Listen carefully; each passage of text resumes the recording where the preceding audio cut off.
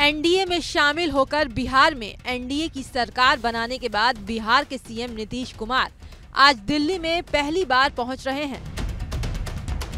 यहाँ वो पीएम मोदी समेत पार्टी के दिग्गज नेताओं से मुलाकात करेंगे।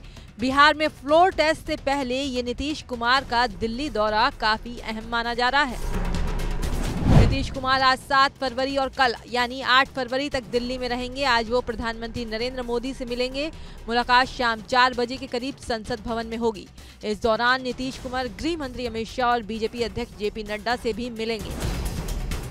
फ़िलहाल बिहार में एक बार फिर एनडीए की सरकार तो बन गई है, लेकिन सब कुछ 2005 की तरह स्मूथ नहीं चल रहा है।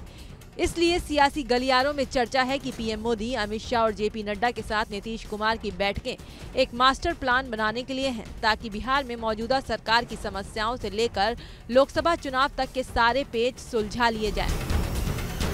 ये दौरा कितना अहम है, इस बात से अंदाज़ा लगाया जा सकता है कि 12 फरवरी को नीतीश सरकार का फ्लोर टेस्ट है इस बीच विपक्ष की ओर से लगातार जेडी और बीजेपी के विधायकों से संपर्क में होने का दावा किया जा रहा है मंत्री पद होने को लेकर कई लोगों में नाराज़गी भी है। जीतन राम मांझी तो खुलकर सरेआम बयानबाजी कर रहे हैं। इसके अलावा, एनडीए में कुछ और दल जुड़ जाने के कारण लोकसभा चुनाव के लिए सीट शेयरिंग में आ रही मुश्किलों को दूर करने पर भी बात होगी। फ़िलहाल अब देखना यह है कि फ्लोर टेस्ट से पहले नीतीश कुमार दिल्ली में बीजेपी के वरिष्ठ नेताओं के साथ जो मंथन करेंगे, उसका कितना असर फ्लोर टेस्ट में पड़ने वाला है।